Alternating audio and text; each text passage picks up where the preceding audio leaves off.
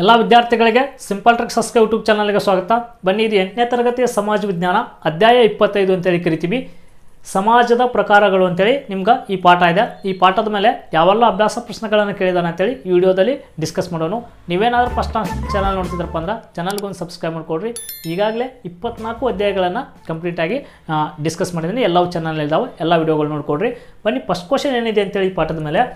ಬೇಟೆಯಾಡುವ ಸಮಾಜದ ಸದಸ್ಯರು ಬೇಟೆಯಾಡಲು ಡ್ಯಾಶ್ ಆಯುಧಗಳನ್ನು ಉಪಯೋಗಿಸುತ್ತಾರೆ ಅಂತೇಳಿ ಕ್ವಶನ್ ಇದೆ.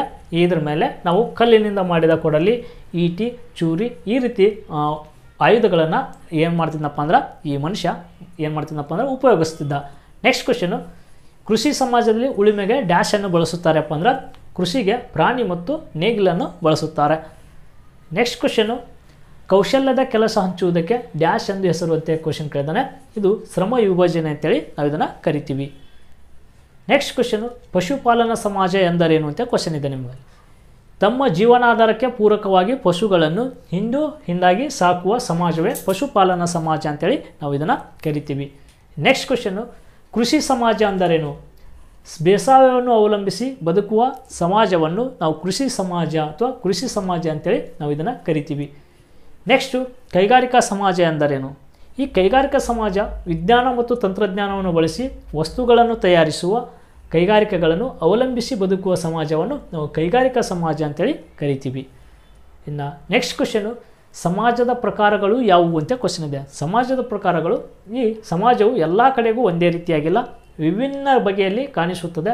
ಆದ್ದರಿಂದ ನಾವು ಸಮಾಜವನ್ನು ವಿವಿಧ ಬಗೆಯಲ್ಲಿ ವರ್ಗೀಕರಿಸುತ್ತವೆ. ಇನ್ನು ಒಂದೇದು ಯಾವುದಪ್ಪ ಅಂದ್ರೆ ಬೇಟೆಯಾಡುವ ಮತ್ತು ಆಹಾರ ಸಂಗ್ರಹಿಸುವ ಸಮಾಜಗಳು ಅಂತ ಕರಿತೀವಿ.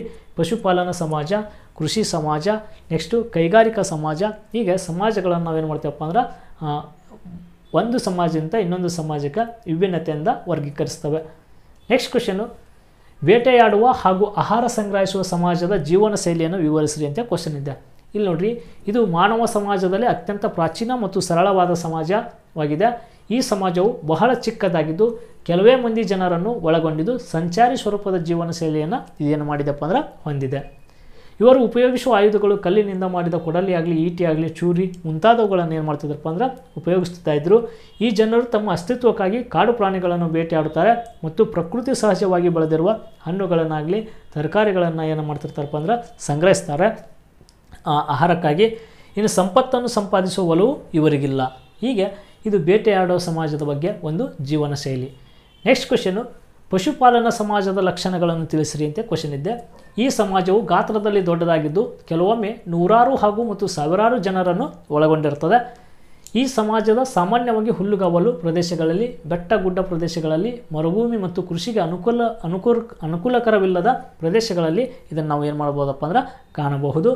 ಇಂಥ ಪ್ರದೇಶಗಳು ಪಶುಪಾಲನೆಗೆ ಸಹಕಾರಿಯಾಗುತ್ತವೆ. ಇದರಿಂದ ಇದರ ಮುಖ್ಯ ಕಸುಬು ಏನಾಗ್ತದಪ್ಪ ಅಂದರೆ ಪಶುಪಾಲನೆ ಆಗಿರ್ತದೆ.